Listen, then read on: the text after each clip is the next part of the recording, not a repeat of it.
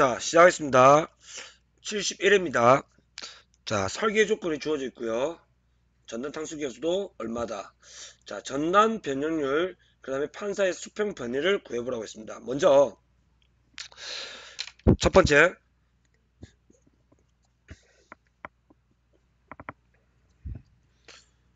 평균 전단 변형률은 우리는 A분의 V입니다. 전단력 면적은 200 곱하기 150이고요.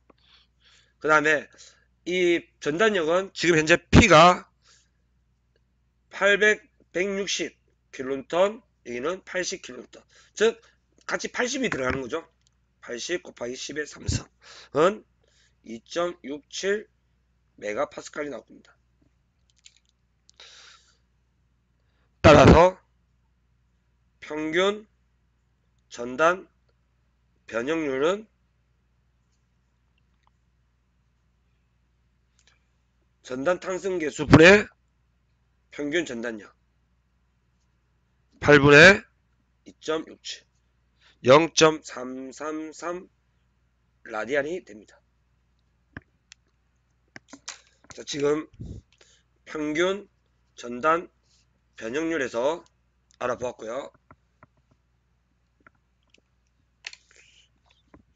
두 번째, 내면과 내면판과 외면의 판 사이의 수평 상대 수평 변이에 대해서 알아보겠습니다.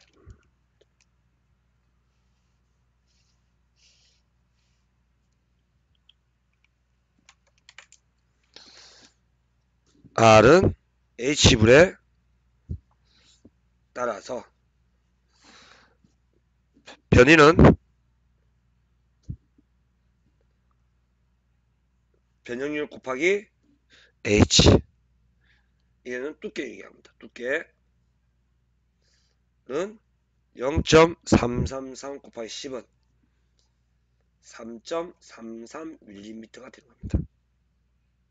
즉 그림을 표현하면요.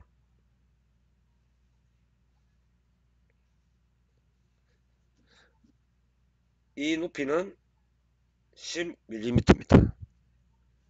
여기는 150mm. 여기에 V가 80kN이 같습니다. 그러면 이때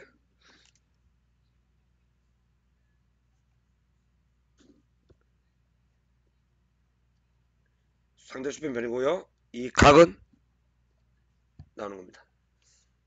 아시겠나요? 자, 그래서 이번 시간에 짧게 했습니다.